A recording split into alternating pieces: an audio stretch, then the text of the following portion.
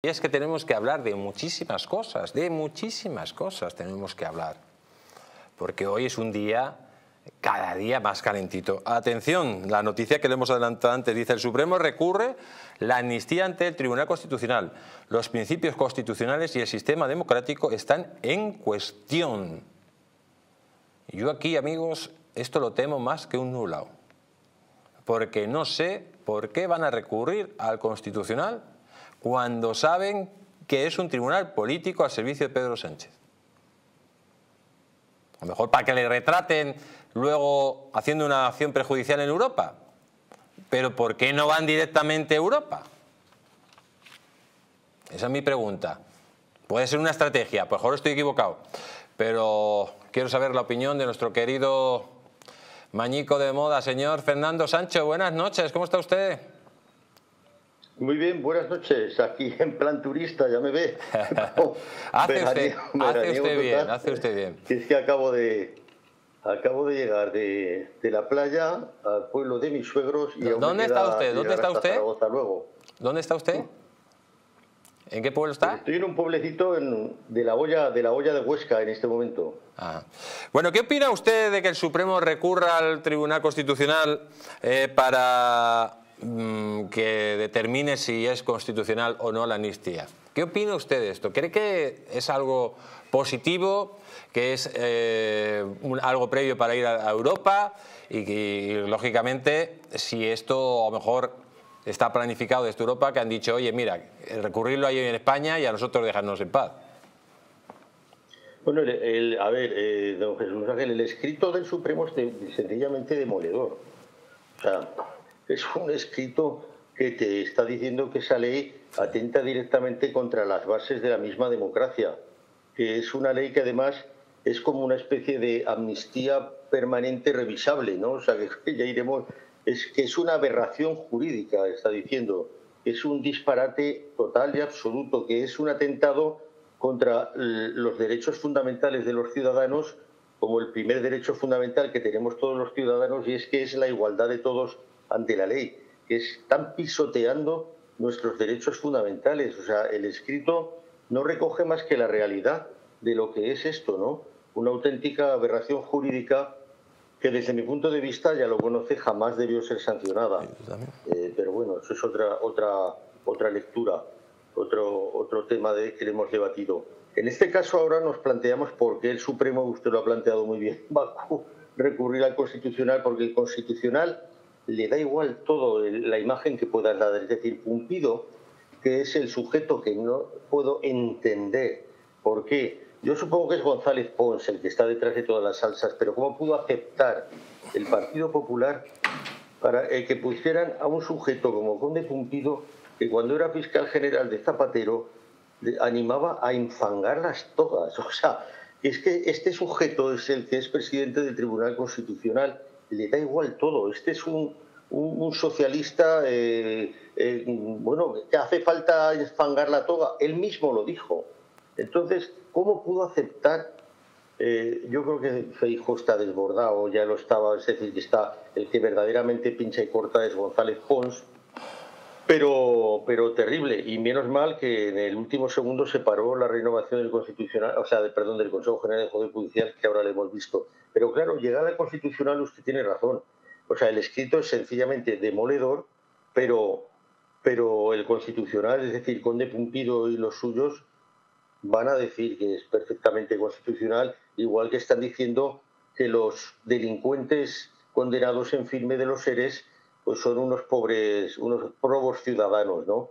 Es algo tan absolutamente vergonzoso, don Jesús Ángel, lo que está pasando en España, que yo insisto, es que toda esta gente que está provocando esta situación, que están pervirtiendo un tribunal como el Constitucional, porque el último un tribunal de casación es el Supremo, que están actuando como un tribunal de casación sin serlo, una perversión democrática total, que están atentando contra los derechos fundamentales de los españoles esto no puede quedar así, don Jesús Ángel. Esto hay que, hay que, para que España recupere verdaderamente su, democracia plena, toda esta gente tiene que, ser cuestionada posteriormente en el ámbito que haga falta, pero no se pueden ir de rositas, porque lo que están haciendo es una auténtica barbaridad.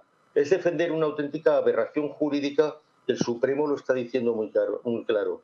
El Constitucional tiene una amplísima mayoría llamada progresista que lo que, de progreso no tiene nada, sino de romper, sino porque ya me dirá usted, don Jesús Ángel, qué progreso es eh, eh, avalar la ruptura total de la igualdad de los españoles ante la ley, porque ahora necesito eh, que me siga apoyando Junts todo lo que pueda, que ya veremos lo que le va a apoyar, porque tiene usted la votación de, del superpleno, ¿verdad? Como ha sido Junts, que ya te creían que ibas a tener, y ni eso, ¿no? Le ha lanzado un mensaje muy claro ante ese pacto que están haciendo de Esquerra Republicana con ella. En fin, yo sinceramente, don Jesús Ángel, eso no lo puedo entender, salvo, claro, aquí podemos hacer conjeturas, ¿verdad? Pero está claro que hay un pacto a nivel europeo con el Partido Socialista y en concreto con Sánchez, que además Sánchez ha sido el portavoz principal del socialismo europeo.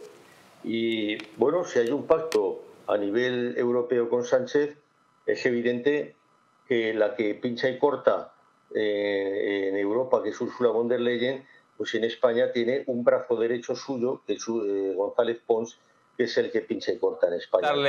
señor eh, Sancho, aquí, ahí quería preguntarle yo, porque lógicamente ha habido un acuerdo muy importante en Europa entre socialistas y el Partido Popular.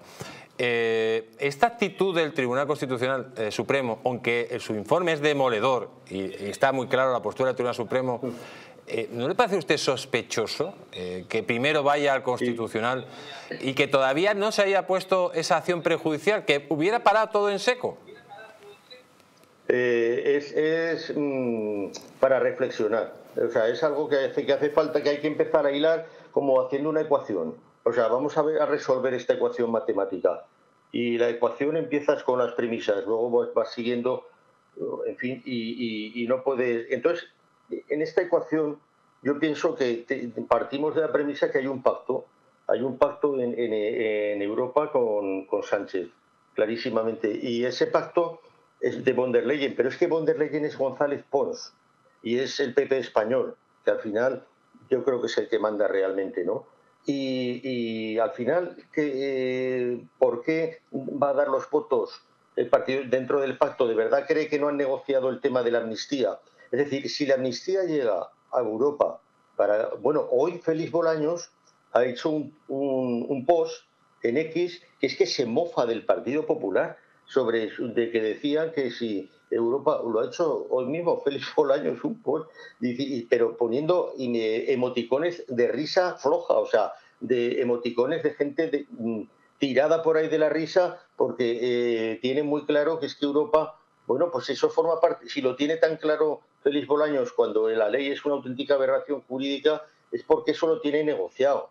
es evidente. Y claro, si llega al, Tribunal Europeo con el aval del Tribunal Constitucional Español, no es lo mismo que llegue previamente al Tribunal de Justicia de la Unión Europea una prejudicial, porque claro, una vez llega con un aval del Tribunal Constitucional, van a decir, bueno, es que al final, en definitiva, oiga usted, si usted es el Constitucional Español, ha dicho que ok, nosotros qué vamos a decir? Eso condiciona muchísimo, condiciona muchísimo. Entonces, forma parte esto de, ese, de, ese, pacto que nos han colado, de ese gran engaño que nosotros lo hemos definido así y que yo creo que ha sido un, auténtico gran engaño al que han sometido los españoles y mientras convocaban o nos convocaban a, decir que estaban contra la amnistía, se estaba... Pero, ayer hice un, un periscopio, un vídeo en el canal de YouTube de Jesús Ángel, en el que decía claramente de, eh, si Alberto Núñez Feijó hubiera querido tumbar a Sánchez, lo habría tenido fácil ahora,